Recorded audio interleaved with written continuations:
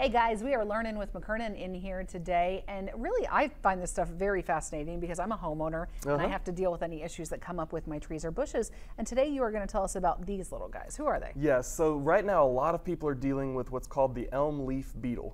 And this beetle feeds on all types of elms. It really prefers Siberian elms, but if you have a lacebark elm, American elm, um, any of the types of elm trees, this could be an insect that you'll be find um, feeding on the tree and causing some noticeable damage to the appearance of what the tree looks like. Yeah, the damage you guys might be looking for at home is it's almost like looks like little holes in all of your leaves. Yes, so the larva of this insect is going to feed on the bottom side of the leaves and essentially what it does is it just eats the green leaf out of the or the green tissue out of the leaf okay so the leaves appear skeletonized almost see-through when you look at them up close and from a distance they could look fire scorched like they're just browned all throughout the tree um, the adults are actually going to feed all the way through the leaves, so you'll see the adult beetle feeding holes um, actually in the leaf as well, where they're typically the larva is just going to be on the underside of the leaf. Yeah, you have examples of what would look like your larva would look like and what your actual adult would look like. Yes, so this is going to be a great example of the larva here. They look like basically little tiny caterpillars. Uh, they're typically yellowish in appearance with black stripes down the side and these are going to be found on the bottom sides of the leaves. Let's hold that up a little more. Yeah. If you can't see them, they really do look like, just like, like he said, little tiny worm caterpillar type.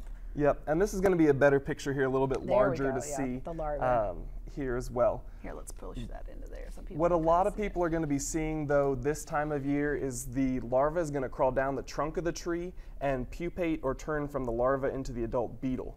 So right now, a lot of people are going to see these caterpillars or larvae uh, crawling down the trunks of the tree and congregating right at the base of the tree. So you'll either, in those cases, see the curled up larva here or these little yellow ball looking things, which is the larva turning from the adult to the um, beetle. And so, biggest question, what do we do? Yeah, so if you want to control these right now, if you have these at the base of the tree, collecting those, sweeping them up, crushing them is going to be a great way to reduce the second population that's coming mid-July. Um, if you want to, if you don't have these at the base of the tree yet, another thing you can do is apply tanglefoot or a sticky substance on the trunk of the tree so that these insects will get caught in that and not be able to survive um, their migration down to the base. And the best way to prevent this? If you want to prevent this in the fall, you can apply a soil drench with imidacloprid to help protect the tree the following spring.